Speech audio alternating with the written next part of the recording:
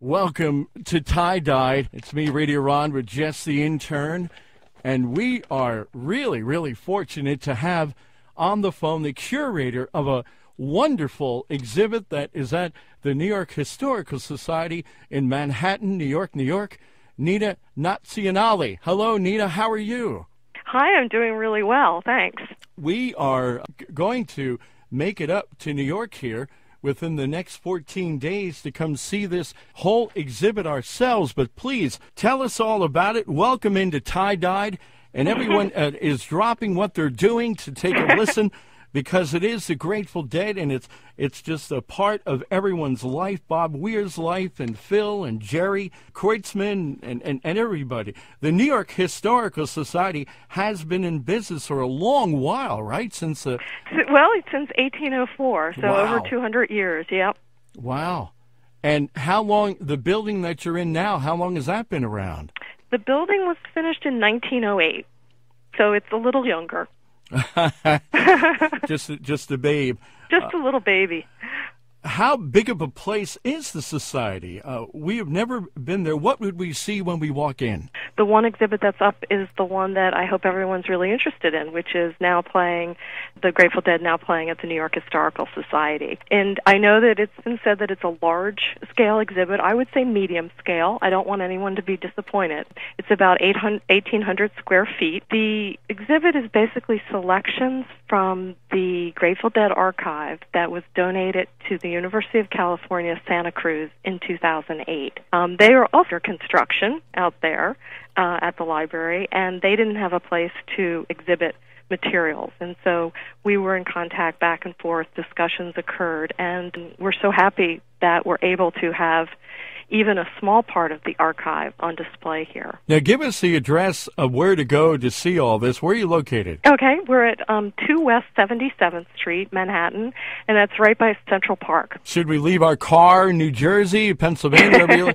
and, and how's the parking out there? Should we just take? Parking is take public transportation if you can. I mean, I like to I like to say that to, to everyone anyway, you know, just in general. But um, there the two subway lines stop within a block of our building, and there's also a bus. You know, if you happen to live if, or you're traveling around Manhattan. Well, this is more than Dennis's posters. This is tell us some of the fun, fun and odd things about the exhibit. Uh, don't give out too much here. We do want to come, but tell us some of the fun and odd things that we will see. Okay. Well, you know, if you don't mind, I'll just I'll start by telling you the four main sections that we have, which Sure. are beginnings, artistry, business, and community, so people can get a sense of how it flows in the exhibit.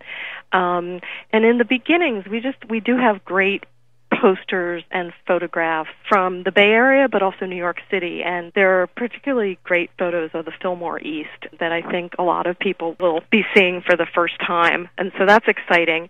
We also we were able to get various instruments from band members.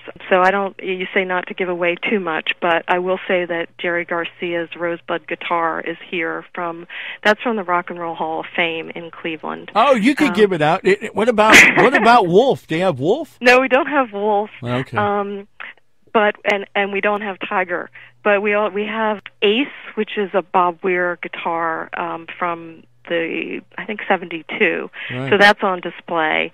And then in terms of the archive, we have what I, one of the things I really like is I think most fans know about the Wall of Sound from Yep. 1974 and how amazing that was in terms of just so creative and such a huge, literally, attempt to, to make sure that all the fans in the audience could hear optimally. And there are sketches that were done in preparation for the Wall of Sound. So they're hand done drawings that are in the archive, and they've been attributed to Bob Matthews. So I think seeing these drawings will really be exciting for, for a lot of people. What was it like to get the call saying that we want to bring all this to New York? I mean, uh, how excited were you?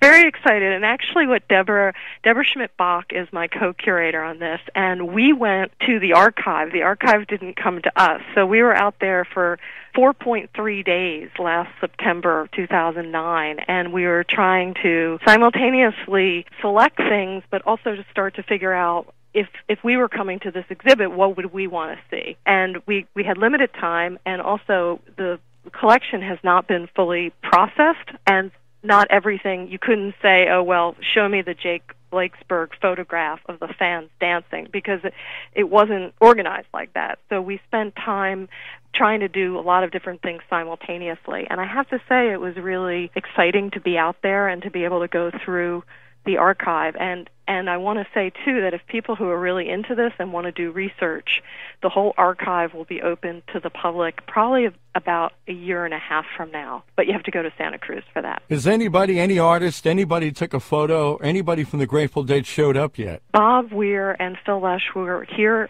on October 21st because we to do a fundraiser for this exhibit. They were they were into it enough to come here and play in the library reading room, which was really cool um, because I am I'm a librarian here, so it was where I spend most of my time. And they set up and and were playing. And I, your fans will, I mean, your listeners will very well know the band Wig Jam, which is um, they do covers of the Grateful Dead, but they also on that night played with Bob Weir and Phil Lesh. So the whole thing was really cool. Had to be the greatest night in that band's life, right? Yeah, I hope they look like they were having an awfully good time. I have to say. Wow. You Phil, can see that on YouTube also if you if you want. So. All right, so what do we type out on YouTube? Um, I would do maybe New York Historical Society October 21st. And then if that doesn't work, throw in Bob Weir and Phil Lesh for very good measure. What would we do without YouTube, you know?